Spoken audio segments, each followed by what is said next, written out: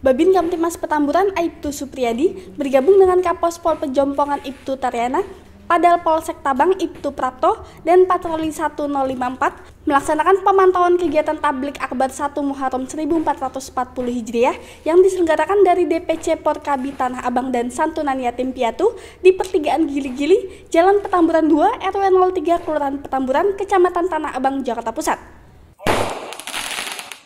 Tablik Akbar 1 Muharram 1440 Hijriah mengambil tema melalui kegiatan Pekan Muharram kita tumbuhkan ukhuwah Islamiyah untuk membentuk muslim berbudi luhur dan berjiwa sosial sesuai dengan kaidah-kaidah Islam yang diikuti oleh jamaah kurang lebih sebanyak 150 orang dengan tiga penceramah antara lain Kiai Haji Sobri Lubis, Kiai Haji Sahrillah Asfari, dan Habib Ahmad Zaki bin Yahya.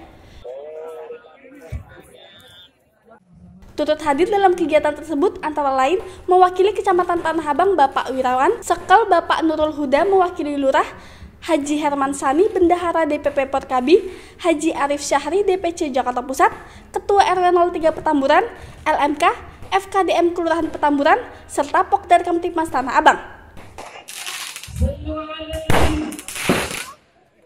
Demikian dilaporkan oleh Aibtu Supriyadi, Babin Kamtipmas Petamburan, salam terdata.